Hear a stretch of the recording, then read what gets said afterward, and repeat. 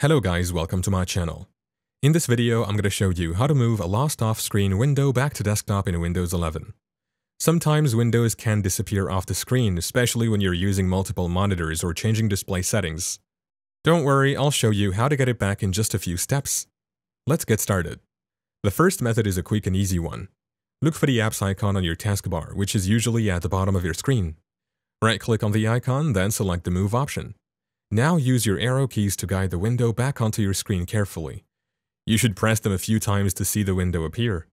If the taskbar method doesn't work, we can try a keyboard shortcut. Press the Alt and Spacebar keys simultaneously.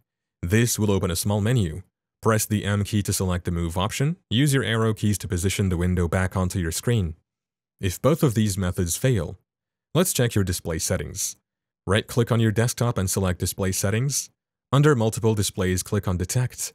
This will help Windows find any missing screens or apps. If you have multiple monitors, try switching between them or rearranging the display order to see if your lost window appears. There you have it. Thank you for watching. If this video is helpful, please leave a like and subscribe to my channel for more videos like this. And click on that notification bell to never miss an update.